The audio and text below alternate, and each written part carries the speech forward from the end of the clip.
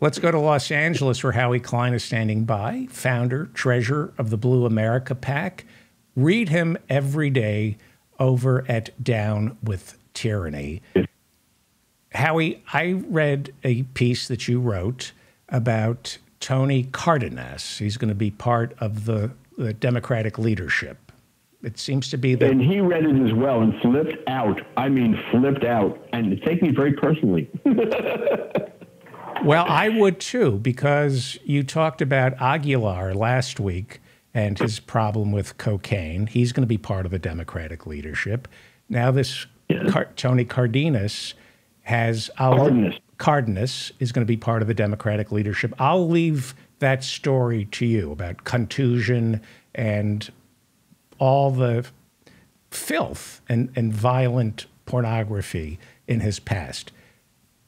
After reading the Tony Cardenas story over Down with Tyranny, it blew my mind last night and it reinforced my grand unifying theory about corporate America, about politics and power, that there are two types of people at the top of the food chain. The absolute top is a monster, and then his second or her second in command is a a easily malleable, pliant, compliant weakling with a secret, so that Hitler surrounded himself with Ernst Röhm because he knew Ernst Röhm had a secret. Oh, he did. Yeah, Obama surrounded himself with Biden, made him second in command because he knew that Biden had uh, a son. And I, I, I think you don't get to be at the top without a dirty, dark secret. I don't think George W. Bush was got the got the Republican nomination in spite of the fact that he was a coke addicted draft dodger. I think he got the nomination because he was a coke addicted draft dodger, that he would be, he could be manipulated by the people who hired him, you know, the defense contractors, the, the oil companies that put him in place. Is this what's happening in the Democratic leadership? Is Hakeem Jeffries the monster and Cardenas and Aguilar, are they the Ernst Röhms with dirty, dark secrets that he can manipulate? Um, I, I, look, I, I can see your your unifying theory being, you know, pretty good, but um, no, I don't think that um, Hakeem Jeffries is the is the the brains behind all this, and he would fit uh, as you know some pawn as well. If, if you know, Wall Street could be pulling the, the strings here, or AIPAC could be pulling the strings. I mean, um, Hakeem Jeffries is is new to most people who don't follow politics, you know, really, really, really closely. But he's been around for a while. He he was in the New York State Legislature, and he has a horrible record. He's been he's a terrible um, politician who is, has been completely owned by Wall Street and wants wanted to be owned by Wall Street and AIPAC.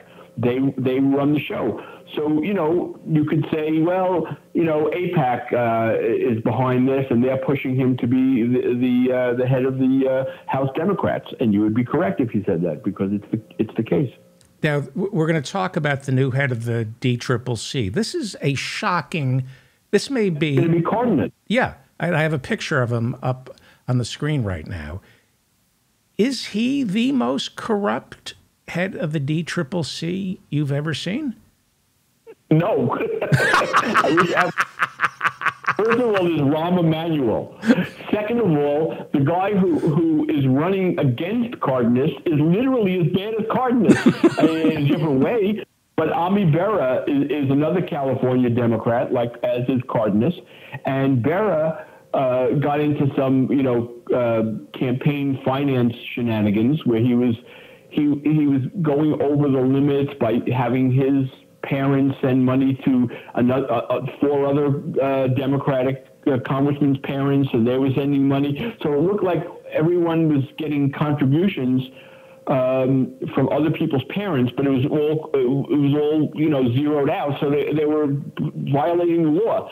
So when and it got it, it got uh, the whistle got blown, and when the whistle got blown, Ami Bera was the one standing there without the seat. And what does he do? He he lets his father go, his 80 year old father go to prison The father took the rap. Wow. And he went to jail. Wow. Yeah. Let, let's do this a is one that's against Cardenas. Okay, now, let, let, hang on for know, one second. Because we have foreign listeners, just do a quick civics lesson because what is happening this week in terms of the Democratic leadership in the House of Representatives? Explain the votes that are being when, taken. Right. On Wednesday, the Democrats are, are going, well, it's not exactly a vote. That's I was thought, and in the article that you referenced, I, I said, well, we'll look forward uh, for Wednesday to see who votes how.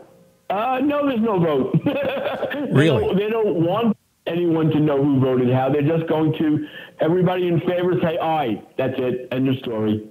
That's that's all there is. It's, it's it's called unanimous consent. So there will be no vote, and we will never know if anybody had the guts to stand up to Hakeem Jeffries and Pete Aguilar uh, and the rest of them. So that's on Wednesday. Where the Democrats are picking their horrible new leaders uh, in the House. In the House of Representatives. So Hakeem Jeffries is slated to become the House Minority Leader, and then the future Speaker if they ever win the House back and then who would right? Although with him as the head, they'll never win the House back. Right, right, and then the whip. Although, although I should take that back because there's something that I haven't brought up, and you haven't brought up, which is that as bad as these people are, McCarthy and his crew are worse. so, I mean, the, whole House of Representatives is going to be uh, led by just a, a bunch of clowns on both sides. But at least there's dissent. At least you have Matt Gaetz. You have uh, what's his name? Arizona, the uh, insurrectionist, uh, Biggs. The, the, way it is now, there are there are 222 Republicans, um, and there are uh, you, so you need 118 votes to to be elected speaker. You need 118 votes. Uh, because there are 222 Republicans, and he already has five Republicans saying they will absolutely not vote for him. That means he only has uh, um, 217 votes, one shy. And that doesn't include people who aren't saying they're not going to vote for him, but may, maybe won't vote for him, like Paul Gosar. Paul right. Gosar hasn't said one way or the other who he's voting for. I assume Paul Gosar is not going to vote for McCarthy, so that brings it down to 216 the, point that I'm making, though, is he doesn't have the 218 votes to become uh, speaker. So we don't really know who the speaker is going to be at this point. But at least the Republicans, at least the Republicans who are were told against democracy, at least they they vote on it. At least it's it, the Democrats are all marching in lockstep here for their leadership. Well. Well, uh, let me explain that a little bit. So the Republicans already had their vote for, for, for leader. And we know what the vote came down to, but we don't know who voted what way because it's a secret ballot.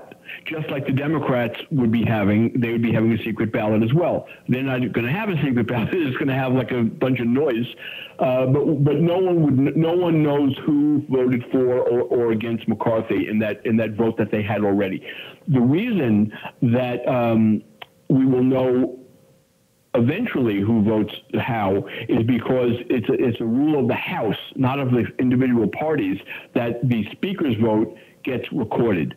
So there can't be any, any funny business around that. So it's not that the Republicans are suddenly in favor of democracy. They have no choice. There will be a vote. Every Democrat and every Republican will publicly cast their vote, and you'll know who they voted for to be Speaker. Presumably, all the Democrats will vote for Hakeem Jeffries, the leader of the party, and some number of Republicans, maybe all of them, maybe not, uh, will vote for uh, Kevin McCarthy. Wow, did we get off the off the? Right, we'll get to we'll get we'll get to Cardenas in a second because you you wrote some amazing things over Down with Tyranny. You you write that for the first time in 100 years, it is conceivable that a speaker won't win on the first ballot. You you talk you and you have this great story. I think it was 1930 where the Republicans narrowly won the House, and then God stepped God stepped in. I, yo, that you know how long it took me to get that information? It, it literally, I mean, it, it, I did so much research, and I and I still can't. and I still couldn't find out all of the Republicans who died or took jobs or, or whatever they did and were no longer in Congress.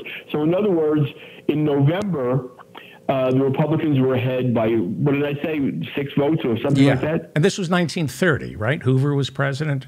Republicans were ahead by six votes. By January, the time by the time the speaker came in, enough of them had passed away or, or fired or gone to jail that uh, the Democrats suddenly had the majority. And the Democrats, and they had special elections, and the Democrats won some of those special elections because the. Um, the, the um, uh, Great Depression was ra- was raging, and everyone just hated Herbert Hoover, and they decided to take it out on these Republicans who were running in these in these red districts, and they lost. Enough of them lost, so that the Democrats gained the majority. So you know, you never know what's going to happen. I mean, that was a, that was a really weird case, but it happened. And if McCarthy doesn't win on the first ballot, crazier things uh, have happened. Donald Trump comes in as the white knight and is voted. Well, he could, but I, I think there are enough Republicans who won't vote for him.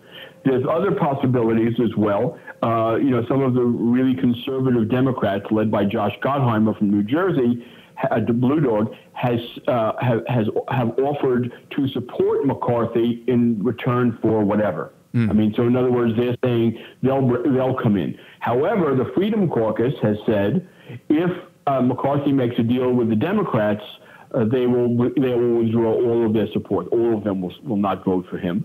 So then we're stuck again with a situation of no speaker. So what happens then? It sort of gets it gets wide open. I, I don't think uh, Trump is the answer, anyone's idea of an answer. But you know, I, I, think the person who's sitting there sort of waiting and salivating is Jim Jordan. Mm-hmm. It serves who has pledged that he would support McCarthy, and he will. He'll support, he will support McCarthy on that first ballot. Right. But uh, if McCarthy can't win uh, I think he's the person that the Republicans will turn to. Right. Now, if you don't believe in government and you want to shut Washington down, that means you're part of the richest. Drives the Republican Party. Right. And, or part of the richest 1%. This kind of drama, not getting a speaker on the first ballot and having all of us fall prey to this and 24 hour coverage, will the House of Representatives have a, a speaker? this kind of theatrics can almost be planned, almost by the rich and powerful to make sure we're not addressing homelessness, the eviction crisis, Medicare for all. This is a wonderful, another distraction. Don't forget fair taxation. And fair taxation. Just let the clowns fight it out in, in the House of Representatives and have Michael Beschloss go on MSNBC and say, Never before have I seen our legislative branch in so much danger. This is, and we all get scared. And more months go by where we don't have a speaker and we also don't have, as you say, fair taxation or somebody taking a vote on whether or not we want to give all this military aid to Ukraine. It serves the elite quite well th- these constitutional crises. Absolutely, it, makes the uh, it makes the Democrats uh, it makes uh, con- government look really bad, which mm-hmm. which of course is what they would love. Right. And the, and Republicans go along with that. They want to, they don't want governance. They want no governance. They want right. the, the less governance, better for them. So the the D triple C. I've known you for twelve years. Tell us what the D triple C is, and the Democrat uh, con- uh, Congressional Campaign Committee. So they are in charge of electing Democrats to the House of Representatives. That, that's what they do, and they do that by um, uh, raising lots and lots of money. That, that's that's that's what they do. And most people who have gotten to know them have gotten to know them since Rahm Emanuel was was the head. Uh, you know, one of the most corrupt and ruthless Democrats in the House in our lifetimes and he was the head of the DCCC. He uh, literally would go to Republicans, literally, and say, "Hey, why don't you switch your party, become a Democrat, and we'll pay for you to, to get in. Then you could vote vote any way you want. He, he did that. And he elected a, a bunch of horrible uh, so called Democrats. And um, all of them, uh, all of his candidates who won, then subsequently lost uh, re-election because once Democrats um, realized what they, they had been tricked into, they, they wouldn't vote for these people again. So, with, you know, within a few years, were, every one of them, no exceptions, was gone. Okay. That's Rahm's uh, Rahm's candidate. So now, he was the candidate. He and, was the head of the DCCC. And do we vote on the DCCC, head of the DCCC, or he's appointed, or she? Yeah. So uh, we'll, we'll, know. We'll know very soon. So it, it varies. So right now, the, everyone in the caucus gets a vote. In the what they want to do is they want to change that so that the the the, the Democratic leader, whether it's the minority leader or the speaker, will nominate somebody, and then uh, and then you know then everybody just says yes.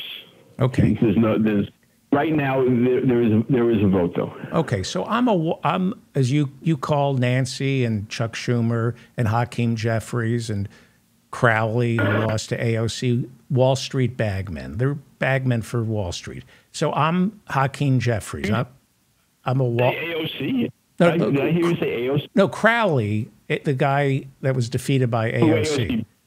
The bagman for Wall Street, exactly right. Right. So I'm a bagman for Wall Street. I'm getting the money. That's why I'm the speaker. I want somebody running the DCCC who's not going to freelance. Go. I, I need you to spend the money exactly how I tell you to spend it. I don't want any back talk. You do what I tell you. So find me somebody who is weak, corrupt, broken, has a secret, and will do as I say, or else. Is that what Tony Card- Cardenas is? is yes. Okay. There's, there's, that's a, that was a good uh, jump. Yes, absolutely. That is what Tony, Tony Cardenas is. So he's, he's a weak, flawed, corrupt figurehead who, if he doesn't follow my marching orders, I'll turn him in you're going to prison. Yeah. Well, I don't think it ever comes to that because, you know, they they they do follow the marching orders. Right. So Tony Cardenas is a very very corrupt guy and has been. Uh, you know, he takes he's a corporate guy. He's he's been the um, sort of in charge of the money for the Congressional Hispanic Caucus, which is uh, notably uh, corrupt itself. Um, you know, they, they have corporations who pay for them to, you know, go on uh, trips where they have parties.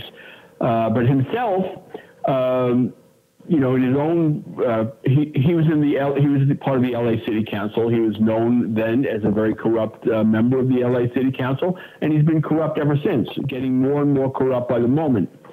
But the story that you want me to talk about yeah, now, who is I Khan Tusion? Believe, who is Khan Tusion? Okay in LA know who Bill Handel is, right? You know who Bill Handel is too. You used to live here. Yep.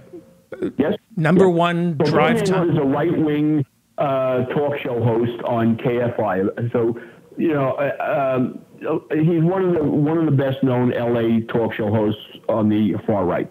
Racist. And he's a racist. His brother. Sorry. He's a racist. no doubt. Uh, his his brother is Khan Tusion and whose Khan Tusion, con- well, his uh, in in uh, before he changes into his Khan Tusion outfit, he is a extremely corrupt uh, developer, a real estate developer who has always depended on uh, Tony Cardenas and other uh, corrupt members of the city council to get him uh, permits that he shouldn't have gotten. So he has been used to paying these people off for years and years, decades. And so he does that. That's what he does for a living. But then he's got a uh, what is considered the most violent and repulsive business in the whole country. The, but, but, you broke and up. What kind of business? Comes in. You're, you're, breaking up. What kind of what? That's where comes in. It's not that I'm breaking up; it's someone is trying to call on, on the other line. Unfortunately, it's just, just it just says spam risk. So it's you know that it's, that nightmare. It's to- Tony Cardenas calling you. Go ahead. No, he he doesn't call me directly. He calls me through someone. Ah. All right, so c- Khan Tusion, Bill Handel's brother, big corrupt real estate tycoon in Los Angeles. Go ahead. He has he, so he he's so there's a money situation in a big way between Khan Tusion, the pornographer developer, and Tony Cardenas. Also, Alex Padilla, by the way, the, the senator who was appointed by Gavin Newsom. So, uh, who also was on the LA City Council and has been a uh, in this client relationship with Khan Tusion. Right, and and describe and- and- what kind of pornography does Khan Tusion do? very, very, very violent pornography. Uh, you know, with with names of, that I, I wouldn't repeat uh, uh, in front of the ears of your uh, Right. your listeners. And and But, uh, you know, the but what he's known Khan Tusion.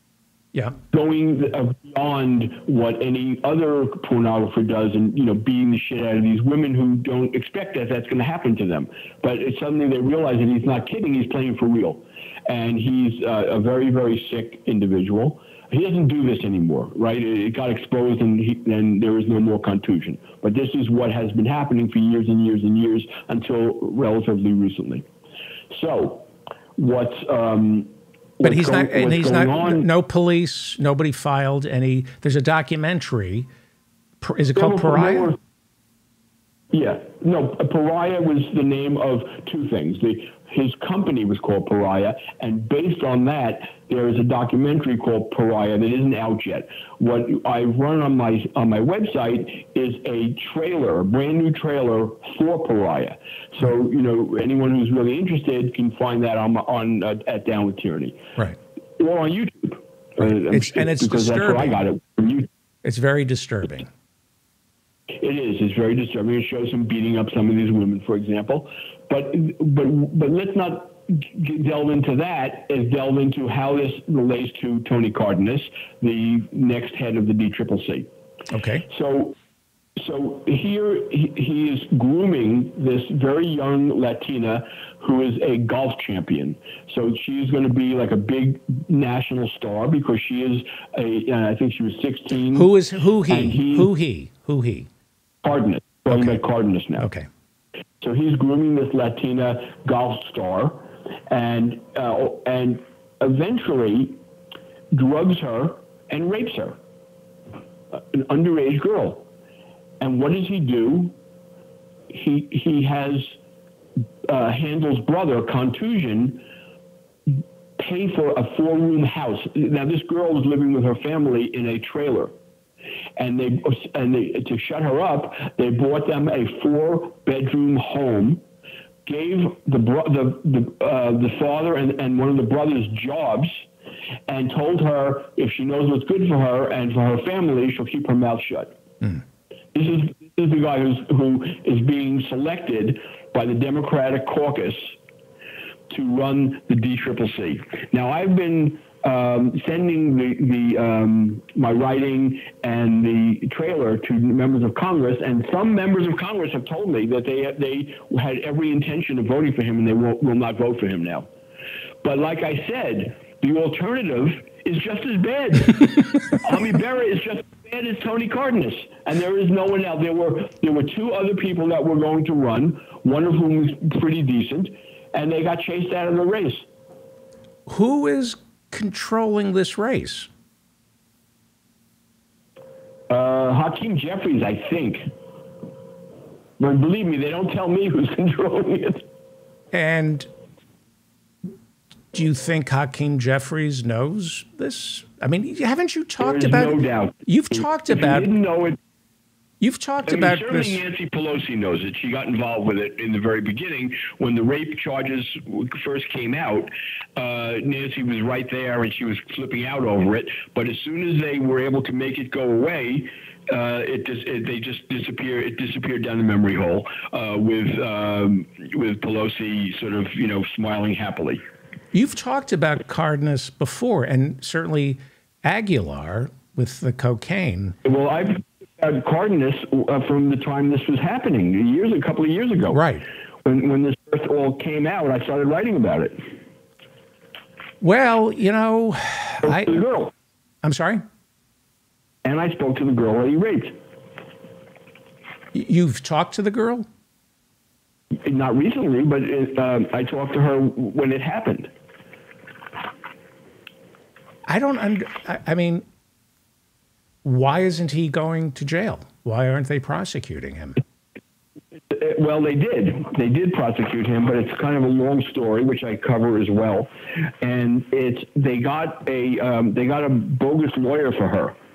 Uh, so they wound up with uh, I think it was the lawyer who handled um, uh, Henry Weinstein.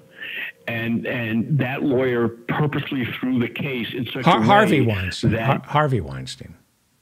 Who did I say? Henry Weinstein. That's my yeah, that's my dentist. Uh, yeah. She, she she threw the case in such a way that it can never it can never be brought up again. It, it was a shocking situation, but this girl totally got screwed over. So when I get emails, angry emails from Republicans, MAGA Republicans, saying you're beholden to pedophiles. The Democratic Party is run by pedophiles. Well, that isn't true. They're not run by it's not run by pedophiles, but there are certainly pedophiles in both parties. There's no doubt about that. But I, I will say something that's that's of interest.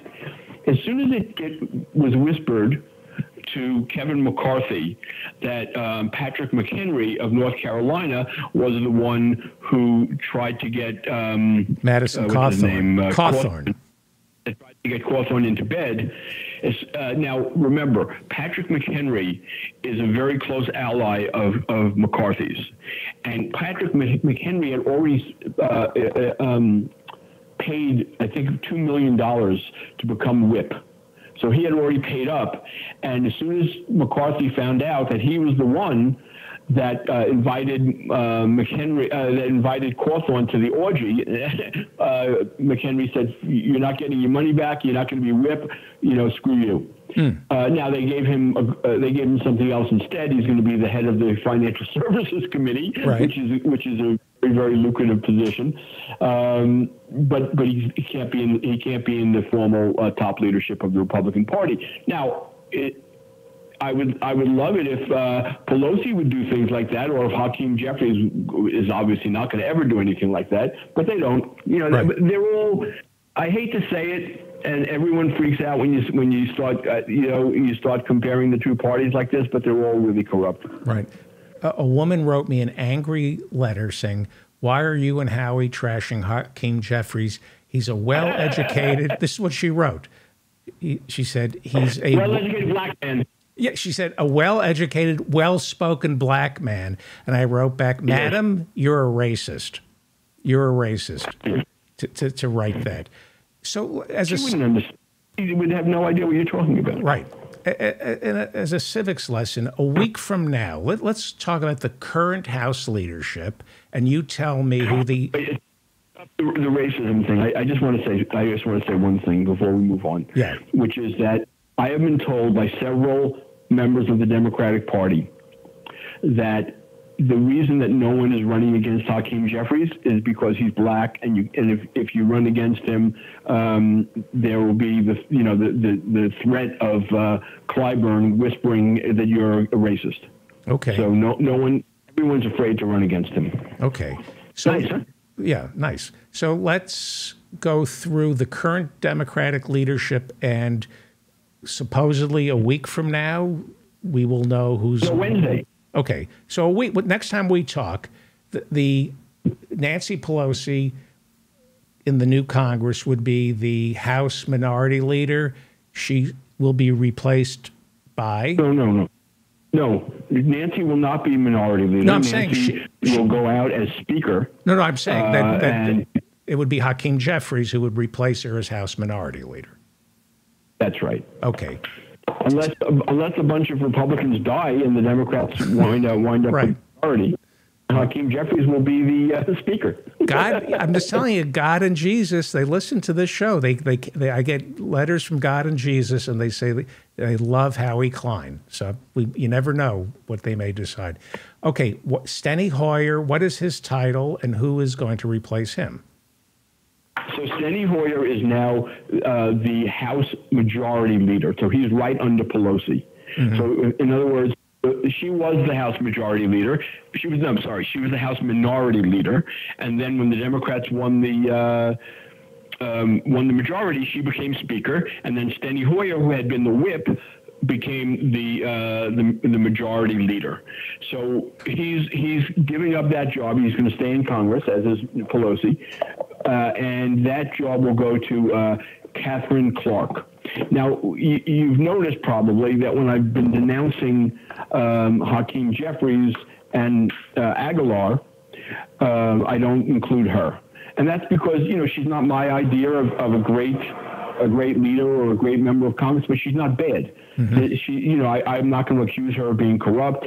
I'm not going to accuse her of anything. She, she's okay. She's right. she's not as progressive I wish she was, but you know, it's not up to me. She's okay. Uh, you, you can't make a, you can't really make a case against her that, okay. that makes that, that makes sense. So that's why I leave her out. Whereas the other two are hideous. Right. And They're Cl- hideous. Clyburn, they made is he the whip? So he was, he was the number three guy, uh, and he he doesn't want to leave leadership. The other, you know, uh, uh, Pelosi said she's leaving leaving leadership, and Hoyer said he's leaving leadership. But so they made a uh, you know kind of a fake position for him, so he can still be a leader. But he'll, you know, he's lazy and he doesn't do anything anyway. But you know, he he uh, he, he you know doesn't want to go out at this point so he's he's still going to be you know a so-called leader. And who will be whip? Whip will be. Uh, wait a second now. So the number one guy will be Hakeem Jeffries. Number two will be Kath uh, Clark. And Pete Aguilar. Aguilar, but I, I think he, I think he's going to be caucus leader. So I guess I don't know. I, uh, you know what? I should get that straight. But I think, I mean, unless unless what's his name stays as, as whip, unless Clyburn stays as whip. Which, okay. So yeah, because there's no one else. There's no one else coming in. Right. And we won't know until January third. When do they vote on Speaker? January third. Oh, Wednesday. No, for Speaker. Wait, no, no. This this this is vote. We vote on Wednesday on who the Democratic leadership will be. No, I'm, I'm talking about the Speaker of the House. We have to wait till January. Yeah, that, that happens in January. Uh, I'm not sure what the what the date is of that, but the Republicans don't take over until like, like something like the 15th, uh, and this will be the first vote of the new. Uh, of the 118th Congress. Okay, before you go, thank you. This is just magnificent. Uh, it's everything It's nobody does this better than you, uh, combining the salacious, uh, a salacious civics cl- class. If you taught, you should be paid to go to high schools to teach salacious civics, and everybody would follow uh, their government. Except that girl who's who's uh, who's writing to you on your on your uh, from your uh, right your room there. Yeah. So convinced that we're racist. Yeah. So how dare you say that a uh, that a black man uh, can be corrupt? It's like uh, un- unheard of. Right. And he's educated. At least you didn't say he, he looks good. Right. right. Like Joe Biden said about Obama. Yeah. That's what I was referring to. Yeah, that's right. People forget what Joe Biden said about Obama, which is why Obama picked him to be vice president because he wasn't any threat to him. So, Donald Trump, we've counted him out, and he always bounces back. But he did. Really count Donald. I'm sorry. You can never really count Donald Trump out. As long as there are like lots and lots and lots of morons, Donald Trump is always looming. Right. He did lose. So he did lose in 2020. By a lot. By a lot. And he's not president. Is this right. dinner with Kanye and uh, the Groyper, uh, what's his name, Nick Fuentes, and Milo Yiannopoulos uh, in the background? Is this is this it for him? Uh, no, uh, I, I'm never going to say anything is it for him anymore. I've done that too many times. Right.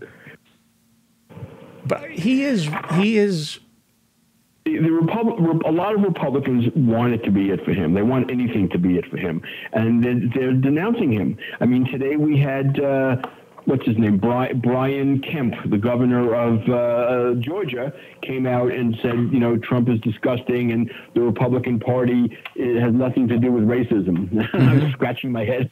What? Right. Republican Party you talking about, boy?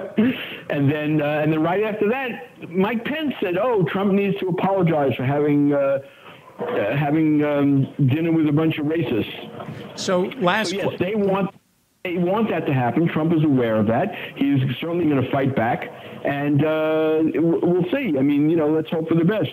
Last question. Kari Lake was at Mar-a-Lago over the weekend. She was told, "Don't, don't surrender, you know, keep playing the election fraud card. Earlier on the yeah. show, I played video of uh, the protesters outside uh, the state government in Arizona protesting. It was like all, all, all, all of them. Yeah, like eleven of them. once, once Trump is no longer politically viable, and this could happen sooner than we think. Then what happens with Garland and the prosecution and the special prosecutor once he's no longer a political force?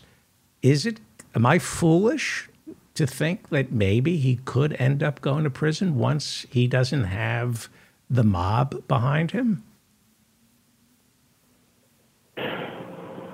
Um, I don't think that's what's going to happen. I, I think that they will make a deal and um, and that's all they've ever wanted. I mean, he it's all he wants. He just doesn't want to go to prison, and he'll make whatever deal he has to make to keep out of prison. Right, right. All right, great job. So don't don't get your hopes up. Okay, and fi- who did the drawing of? Uh, I'm showing it now. The uh, uh, Donald Trump eating uh, a Big Mac in a rainbow color. Who does your art? Uh, my art. Well, he doesn't like me to say who he is. Oh, okay. That's and, why we never used his name. Okay, and and who did the usual suspects? You took the picture of the the militia who stormed the Michigan. Right.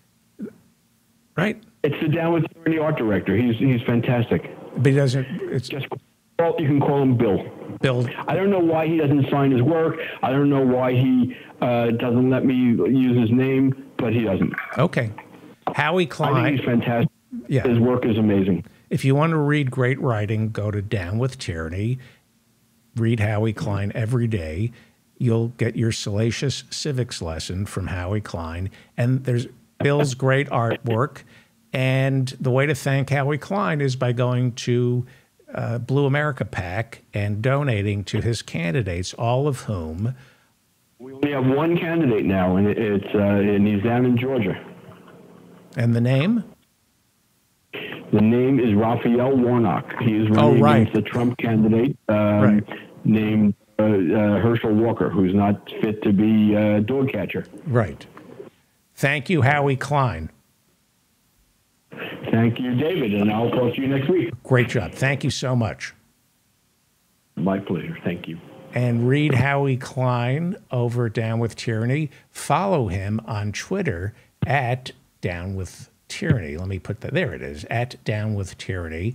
If you enjoyed today's segment, please like it and subscribe to this channel and share this salacious civics lesson uh, with your friends. Copy and paste the link and share this salacious civics lesson with your friends. I'm David Feldman reminding you to stay strong and protect the weak.